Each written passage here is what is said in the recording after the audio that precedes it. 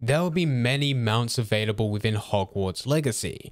It's likely that you've already seen that you can use a broom, but this is far from the most exciting. The most exciting is of course the beasts that come as part of DLC or beasts that you can tame within the open world. There has already been gameplay revealed of the hippogriff flying, which is just awesome to see, and I'm sure this is probably going to be the number way in which players look to travel. Not just that, the way in which you can spawn these in is even more magical. Because unlike traditional games where you'll whistle and it will spawn in randomly without you seeing behind you, with these different magical beasts, they'll actually come out of a very small bag which you're carrying on you at all times. And let's just say it is an amazing entry.